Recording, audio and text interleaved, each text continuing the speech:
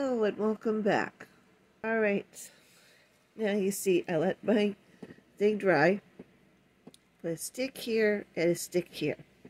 Now this all with wood glue. All right. This is these are the two stages.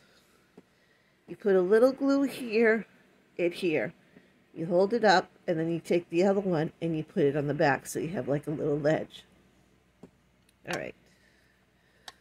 Okay, with this popsicle stick, I cut both ends with a pair of scissors.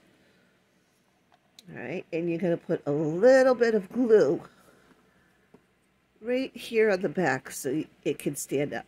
Make sure make sure you have something behind it to keep to keep it up. All right, now I'm going to show you how to glue it.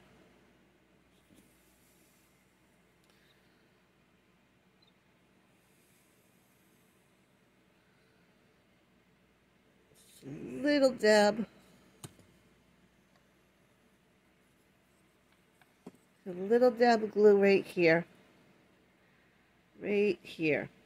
Put something that'll keep it stable. To keep it up when you at a slant. See, I got this, my good old uh, pressing stamp that my husband made. This is my uh, glue press presser. Get it at a very slight angle.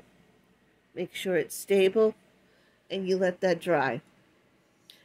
And then dry, you can paint it. And you can put a card on it. And now you have yourself a little card easel to show off your cards. It's very easy. And I'll leave, I'll leave the... Um, description of the materials below and what, what products to be used. You guys have a great day, and I'll see you next time on Mary's Craft Corner. Bye, guys, and have a great day.